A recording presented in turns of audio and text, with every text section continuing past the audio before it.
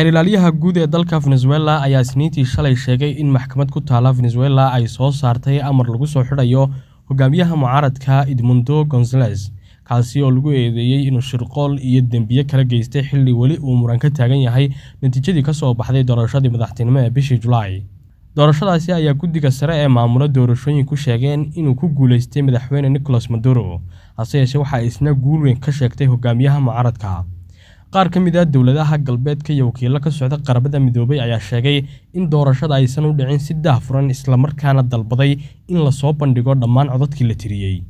Xeer ilaalyaha guud ee venezuela tarik saab ayaa qoraal uu soo dhigay barta telegramka oo ay aragtay wakaaladda wararka ee reuters ku xaqiijiyey waaranka loo jaray hogaamiyaha mucaaradka.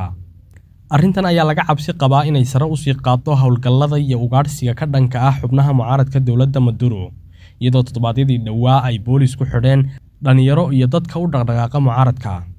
Afhayeen u hadlay edmondo gonzales ayaa sheegay inay sugayeen wargelinta waaranka balse ma uusan bixin faahfaahin dheeri ah. Maasha allah soo dhowaada. La jaanqaad shirkadda telesom. Maxmil waxay kuu diyaarisay adeegga internetka ay faibar optiga. Kaasoo xawaarihiisu kala go' lahayn. Waa guji waa ishaa biligteeda.